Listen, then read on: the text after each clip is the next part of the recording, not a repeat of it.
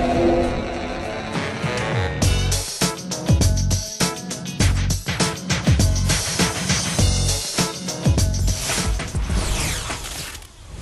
Got Sean Walker, our network guy, here to talk about networking again. And uh, specifically today, I wanted to talk about Ethernet cables and also routers and the different speeds. I know it doesn't sound that exciting, but if you're going to be wiring your office or your home office or home for that matter, I think it's important that you know about some of the different types of cabling and the different types of routers and why you need them as far as speed is concerned. Uh, a lot of people refer to these as network cabling, Ethernet cabling. Uh, there's also another designation as well. This is uh, called a Category 5 cable or a Cat 5 cable, but there's a couple other ones too. Correct. So Cat 5 is, is good for 10 megabit networking and 100 megabit. Um, when you go above that into the whole gigabit or 1000 base T realm, um, this type of cable might work, but it's probably not going to be totally reliable.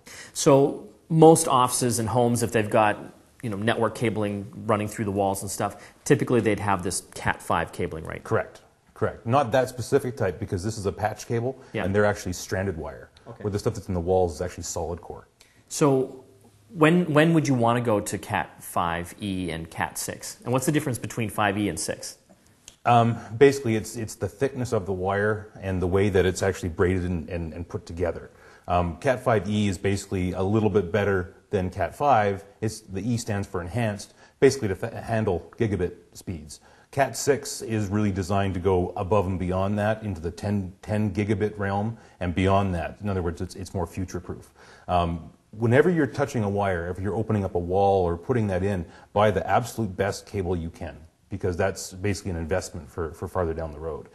'Cause you don't, you don't want to be opening those walls again a few years down the No. road. Cable is cheap. It's installing it in the wall that's expensive.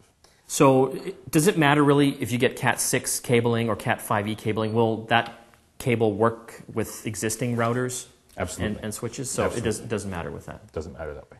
Um, just to kind of give you a reference point, most high speed connections, if you've got one at home, for example, like a cable or DSL, you're looking at 1.5 megabit transfer speed. So when we're talking about 10 megabits and 100 megabits, you can kind of get an indication of how fast that's going. But I guess as you get up to like 100 and uh, 1,000, which is a gigabit, uh, that's more, I guess, for video.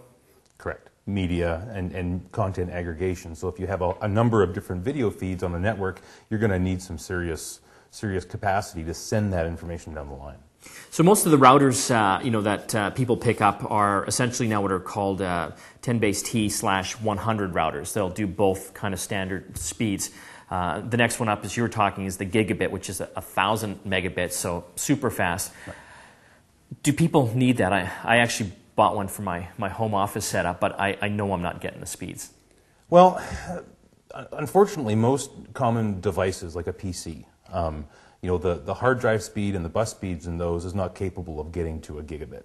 Um, but they can definitely exceed 100 megabits. So will you get some benefit from it? Absolutely. Um, when you get into large networks um, and, and big internet gateway junctions, you know, they're in the 10 gigabit realm, and those pipes are, are virtually full.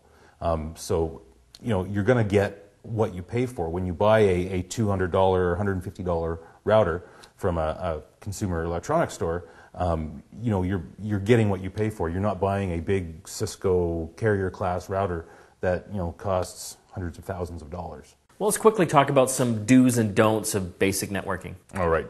So if, if when you're pulling wires through either a wall or through a ceiling or some, some structure, make sure that you don't put too much pressure or, or force on those, especially when they're going around corners. Because what's going to happen is if you get too much, too much pressure and that bends too tight, you're going to start getting fractures in that wire. Um, the main difference between wire that runs through walls and, and this piece of, of um, patch cabling is you can actually do this because it's um, stranded wire inside here, but in a wall it's actually solid. It's, it's, it's nowhere near as flexible, so you're going to damage it. Um, the second thing that you have to be concerned about when you're going through, when you're running things through walls is, is to keep the, the data lines, your, your Cat5 or Cat6 cabling, keep it away from any lighting fixtures, fluorescent lighting especially, or anything else that could potentially interfere with that, with that wiring. So those are a couple don'ts. What about uh, distance? Like, how far can you run a cable? Um, Cat 5, the spec for Cat 5 is 295 feet. Um, but regardless, whenever you're, you're running a certain type of wire, check Go and find out the specification, find out what the maximum distance it is. You know, there's, there's nothing worse than putting the time and money into running a piece of wire some long distance to find out it's not going to work. One last dumb question, and I, I actually get this a lot, and I, I don't fully know the answer. Does it matter what color the cables are?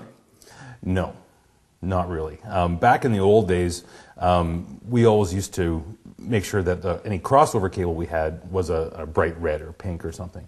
But all devices now, they're all auto, auto detect. So if you have a cross cable or something not quite right, most, nine times out of ten, it's actually going to figure it out and fix it on its own. So no, color so, doesn't. So my blue cable doesn't make it faster. Good to know. Sean Walker, network guy. If you want to get more information, we've uh, got lots of these types of clips up on our website, getconnectedtvshow.com.